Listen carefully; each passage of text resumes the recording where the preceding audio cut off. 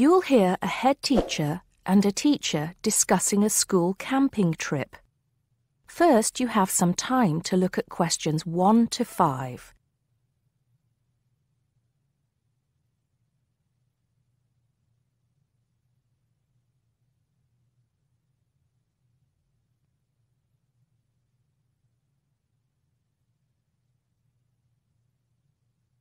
Now we shall begin. You should answer the questions as you listen because you will not hear the recording a second time.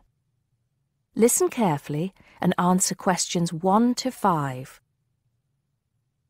Good morning, Mr. Thompson. Can I speak to you for a moment? Of course, Jamie. Come in. Have a seat. I've just finished looking through the reports for this term. It looks like the pupils are doing very well. Yes, I think they are. It's all going fine. So, Jamie, what's on your mind? Well, I've been thinking about next month's camping trip, the one for year 10.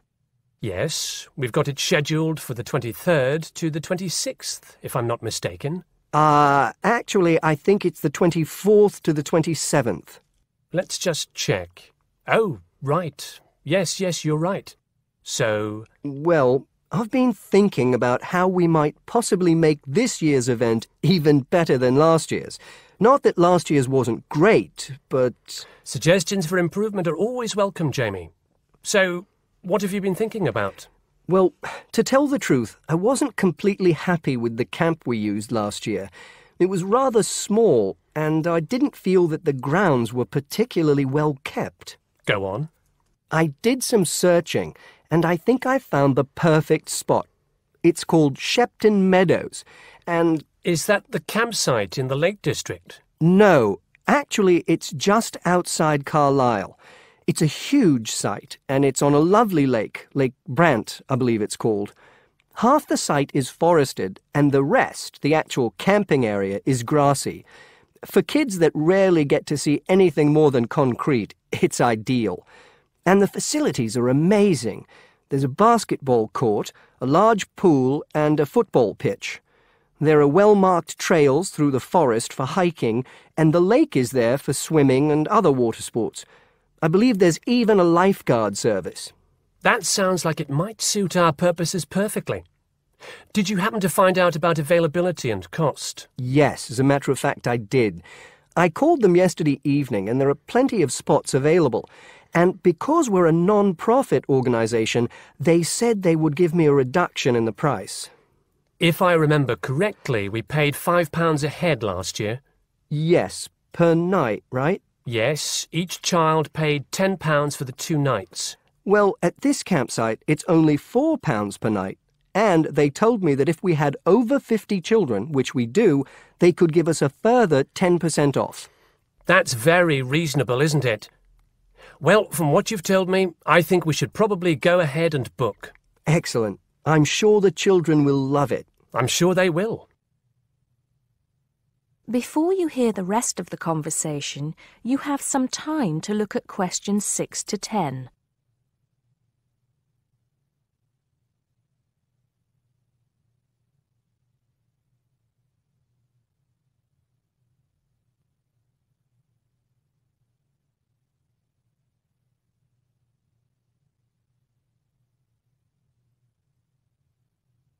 Now listen and answer questions 6 to 10. Now, Jamie, have you given any thought to an itinerary by any chance? As a matter of fact, I have. Wait one second. Yes, here it is. I've made a few notes. Okay, so now these are just ideas, of course. Yes, yes, go on. Let's hear what you've got. Right. We time it so that we arrive at the camp around 7 on Friday evening. It'll still be light then, and we'll have plenty of time to set up camp and get ourselves settled in. At 8, we could have a barbecue, you know, hamburgers and hot dogs, something that's nice and easy to prepare. And that children love. Yes. Then lights out would be at 9:30 so the children will get a good night's sleep and be up bright and early at 7 on Saturday morning. Breakfast would be at 7:30, an hour's hiking from 8 till 9, and then a couple of hours at the lake. That would take us up to 11. I think that an hour of free time would then be in order. Let them have a chance to explore a bit on their own, you know? Yes, great idea. And then? Let's see, a picnic lunch at 12, and then sports in the afternoon till 4. Another swim until 5, and then supper. After clean-up, around 6.30, we could have a talk-back session, where the children get a chance to discuss their day and anything else they might have on their minds. Then a campfire and sing-along at 8, back to the tents at 9.30, and, well, that takes care of Saturday. Excellent, excellent. That would certainly keep them busy. What about Sunday? Sunday, right. As on Saturday, same wake up and breakfast times, and then I thought we could go on a bit of a day trip. There are some caves about an hour's walk from the camp which I thought the children might find interesting. We could leave at eight, which would mean we'd get to the caves at nine. They could explore for a couple of hours, and we'd head back at eleven.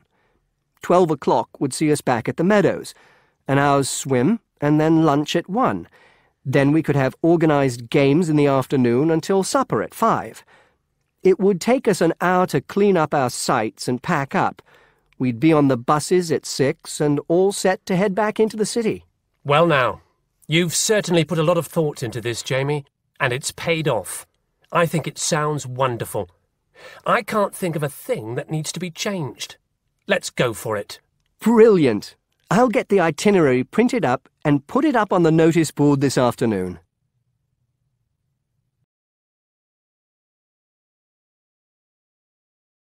That is the end of part one. You now have half a minute to check your answers.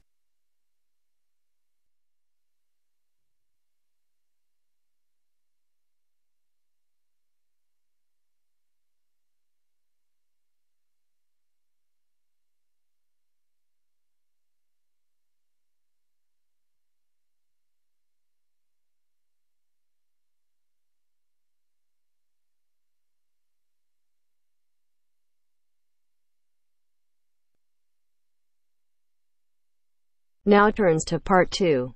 Part 2. You will hear a conversation between a customer and a shop assistant. First, you have some time to look at questions 11 to 15.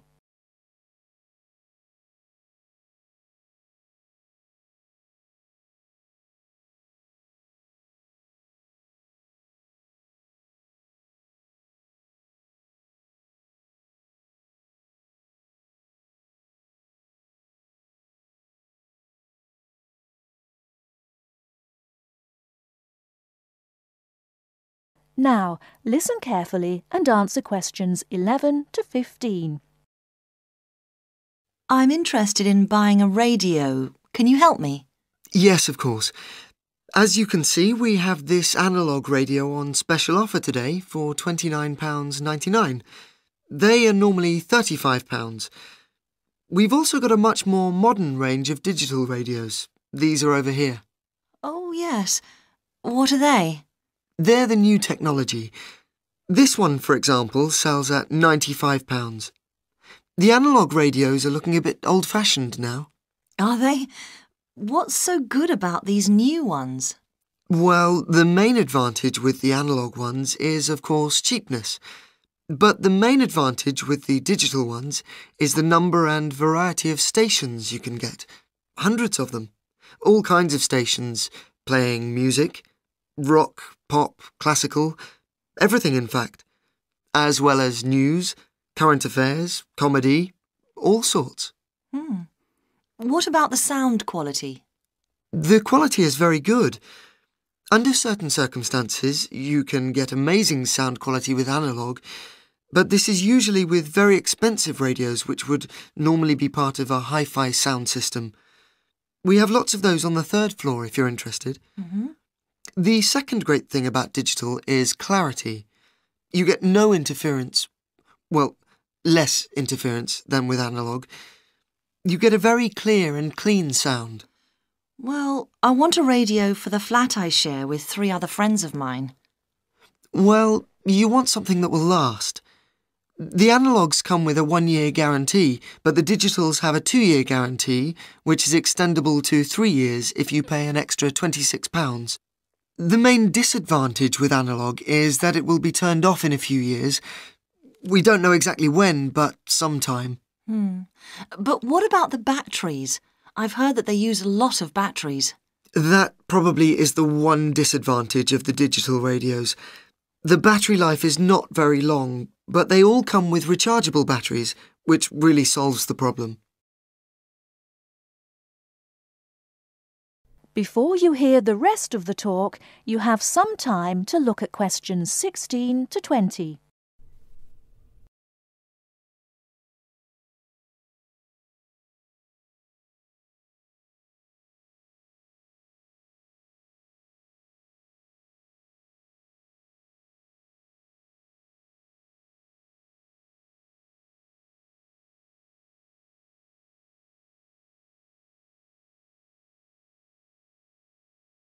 Now listen and answer questions 16 to 20.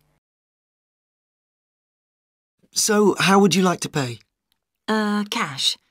I wondered if you had a Robson's store card? Do you know, I think I do. Uh, here we are. Oh my goodness, I haven't seen one of those for a long time. those are the old value cards. Now you can get a super value card, which is even better value. Really? I don't know what to do. Well, I can change you onto a super value card if you want. With the super value card, you get double the standard number of points and your free credit period is longer. With your old card, you get one month's free credit, but you can get three months free credit with the new card. The interest rate is a bit higher at 22.5% rather than 18.5%, but if you're careful, you don't have to pay interest at all. Well, I'm not sure about that. It seems better in some ways. Can I continue to use my old card? You certainly can, until they withdraw them, which I'm sure they will before too long.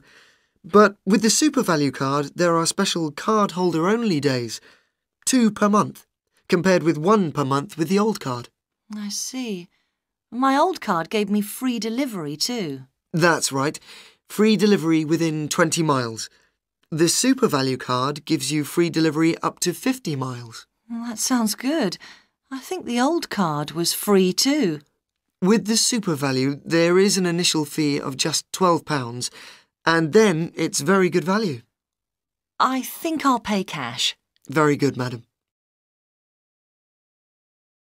That is the end of part two. You now have half a minute to check your answers.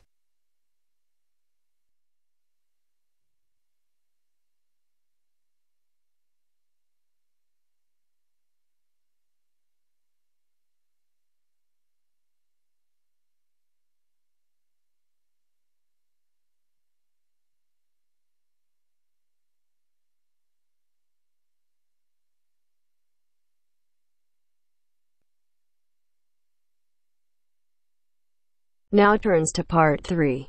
Part 3. You will hear a conversation between a tutor and two students, Amanda and Jake. First, you have some time to look at questions 21 to 25.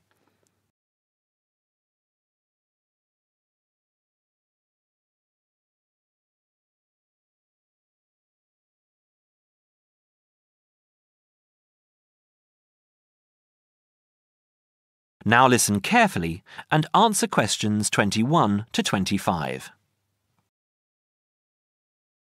So, Jake and Amanda, how did the project go? Very well, I think, Dr. Hinton. I certainly learned a lot and enjoyed myself at the same time. Me too. So, remind me, what was your project about? Basically, what makes successful people? Let's call them top achievers successful. Yes. How are they different from us? What do they do that other less successful people don't do? Interesting. And did you come to any conclusions? Quite a few, actually. Good. Share some with me then.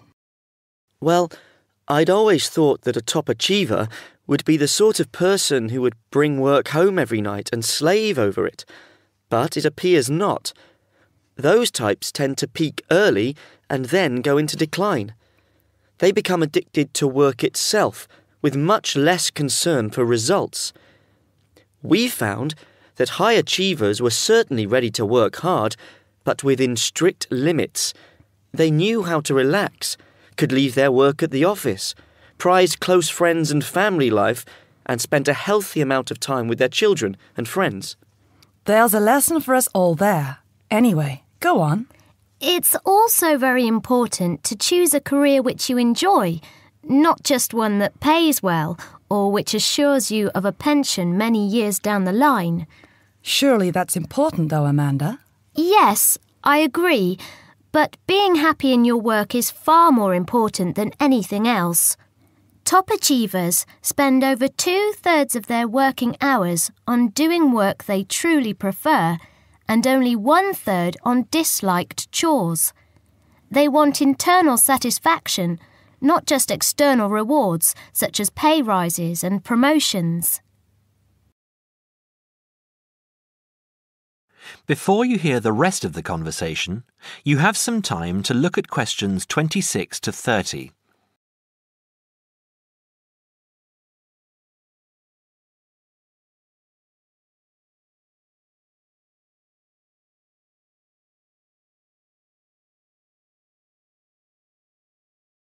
Now, listen and answer questions 26 to 30.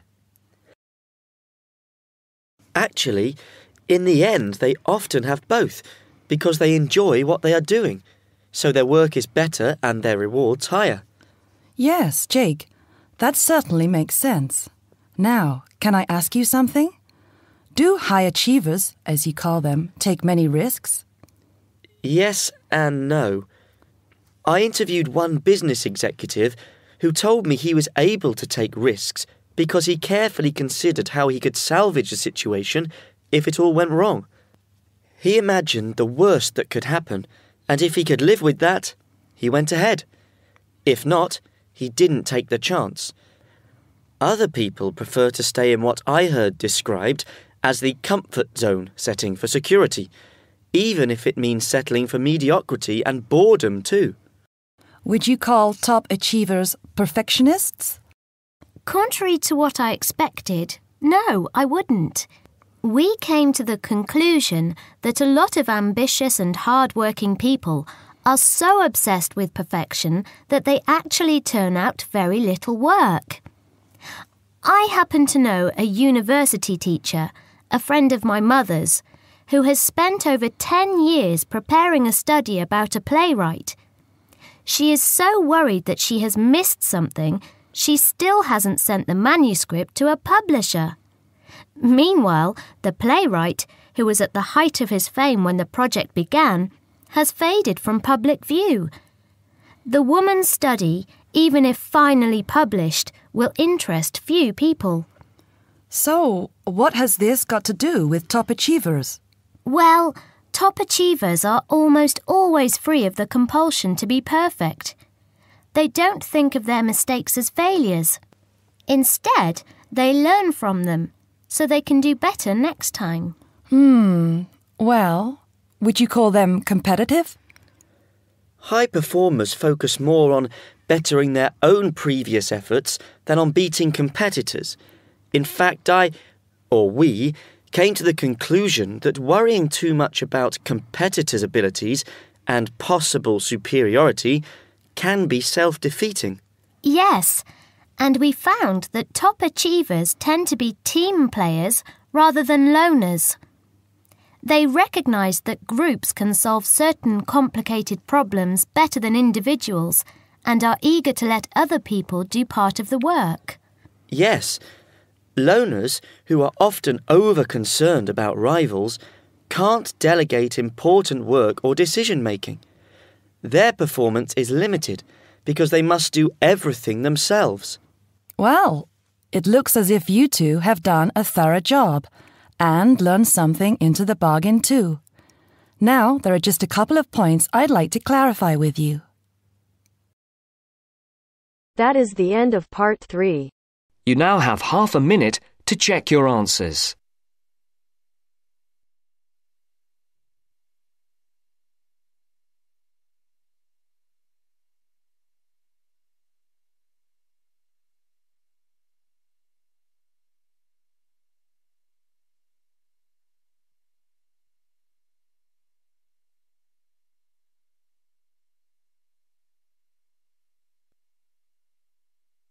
Now turns to part 4.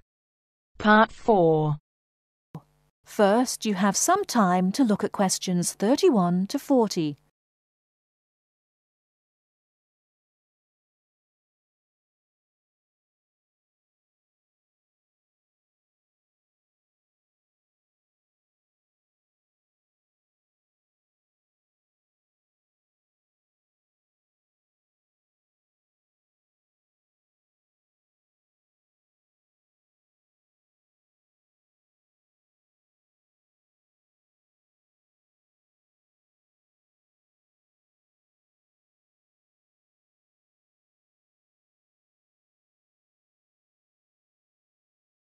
Now listen carefully and answer questions 31 to 40.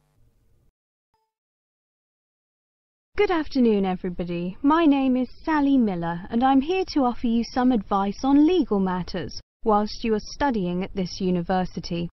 Happily, most international students complete their courses without running into any serious legal problems. But if you do find yourself involved in a legal dispute of any kind, ask for help. There are two options. First, contact the student's union or welfare officer. Even if they cannot help you directly, they should be able to advise you where to go for help. The second possibility is to contact the Citizens Advice Bureau in your area. You can find them in the local telephone directory. They will be able to recommend a solicitor if you need one, and tell you if there is a local law centre providing free legal advice. They will also be able to tell you whether you can claim legal aid to help pay for any court and legal fees. Let me give you some basic information about the police. The police have the power to stop and search anyone who appears to be behaving in a suspicious manner.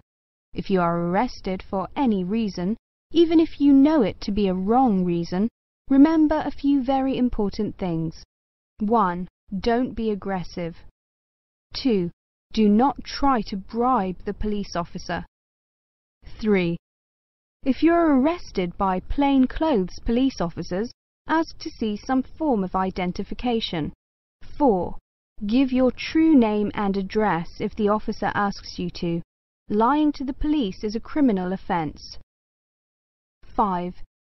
Do not sign any statement until you have received advice from a solicitor. There is always a solicitor on duty at every police station. 6. You will be entitled to make one telephone call. If you use this call to telephone a friend, urge your friend to contact someone from your university or from the Students' Union and get advice about what you should do next. If you find yourself in trouble with the police, it is very important to get professional advice. Contact any of the following. Your university welfare officer, the students' union at your university, your local citizens advice bureau, a local law centre.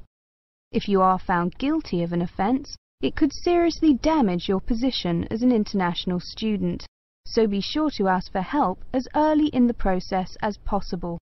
Remember, obey the local laws. The laws here may not be quite the same as in your own country. Here are a few examples of actions that are illegal here. It is against the law to possess offensive weapons. For example, knives, guns, chemical sprays used for personal defense, even women are not allowed to carry sprays or other deterrents to protect themselves against possible assault, except for rape alarms, possess or supply hard or soft drugs, disturb the peace. This is called disorderly conduct. This means that you can be arrested for being too noisy or rowdy. A few words about drinking. In this country, it is perfectly acceptable for adults to drink alcohol in moderate amounts. For many people, drinking is an established part of their social life. Going out for a drink is how they relax or spend time with friends. If you go to a party or visit people at home in the evening, your host will probably offer you a drink. Often a lot of university social life can revolve around drinking, especially for undergraduates. Do not be surprised if people arrange to meet in a bar, or if events are held in a pub. but you are not obliged to drink alcohol if you do not want to, even if you are in a pub or at a party where everyone else is drinking. You can always ask for a non-alcoholic drink instead. And if you feel uncomfortable going to places that serve alcohol, explain this to your friends. There are lots of other places where you can meet. If you do choose to drink, remember that you should never drive a motor vehicle after drinking alcohol. It is dangerous, and the police can impose serious penalties on you. Also, remember that being drunk in public is not acceptable either, and the police can arrest you for it. Drugs and alcohol can cause serious problems.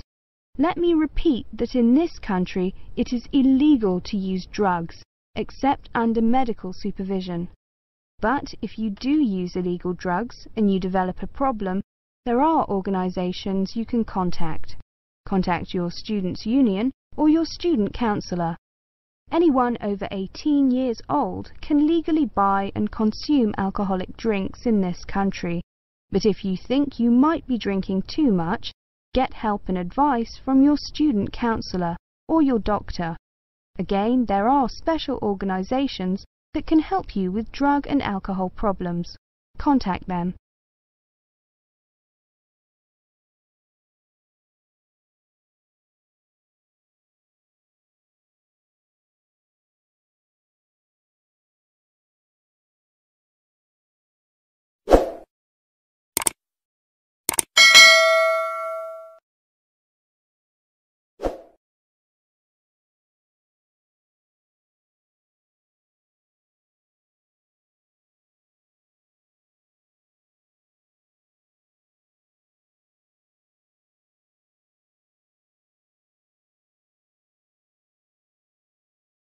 Thanks for watching. Here are other two videos. You can watch them as well. And if you haven't yet subscribed my channel, please subscribe it and hit the bell icon for my upcoming videos and share these all videos among your friends.